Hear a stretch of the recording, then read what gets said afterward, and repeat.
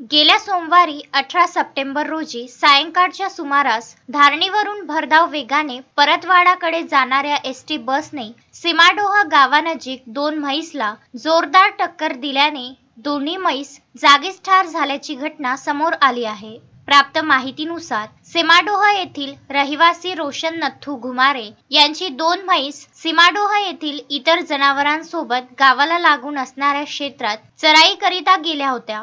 सायंकाळी चराई करून परतीच्या मार्गावर असताना धारणीवरून भरधाव वेगाने येणाऱ्या भोकरबर्डी अमरावती एस टी बसने दोन म्हैसला जोरदार धडक दिल्याने दोन्ही म्हैस जागीच ठार झाल्याची माहिती प्राप्त झाली आहे. टक्कर एवढी जोरदार होती की दोन्ही म्हैस गंभीररित्या जखमी होऊन दोन्ही म्हैसच्या हातापायाचा पोटाचा आणि तोंडाचा चेंदामेंदा झाला. म्हैसचे मालक रोशन घुमारे यांनी संबंधित एस टी बस चालकाविरुद्ध पोलीस तक्रार केली असून पुढील तपास चिखलदरा पोलीस करीत आहे.